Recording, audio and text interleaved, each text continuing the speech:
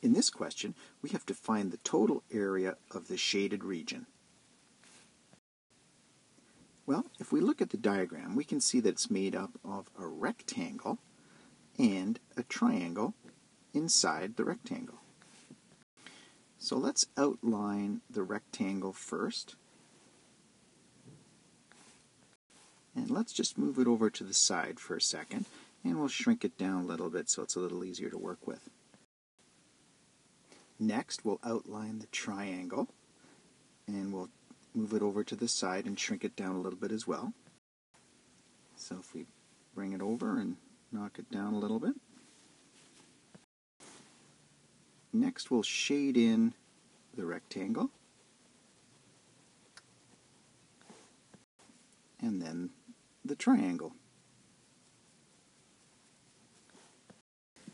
And then if we insert the triangle inside the rectangle and then cut out the triangle again, we'll see that we're left with the shaded region, roughly. So our shaded region is equal to the rectangle minus the triangle. And there we go, I've just tightened up the uh, lines a little bit and added the rectangle back in. And we can see that the shaded region is equal to the rectangular region minus the triangular region. Okay, so we know that the area of a rectangle is its length times its width. And we know that the area of a triangle is half its base times its height. And we're going to subtract those two. So if I look over at our diagram, we can see the length is 8 centimeters and our width is 6 centimeters.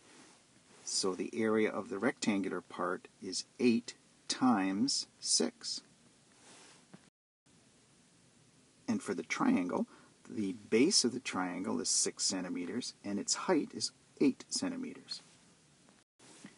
So the area of the triangle is a half its base, which is 6, times its height, which is 8, and again, we're going to subtract these two. Okay, so 8 times 6 is 48. And half 6 is 3 times 8 is 24. Okay, 48 minus 24 is 24. And since we are multiplying here centimeters times centimeters, and both of these um, mini expressions here, the units are going to be centimeters squared, a unit of area.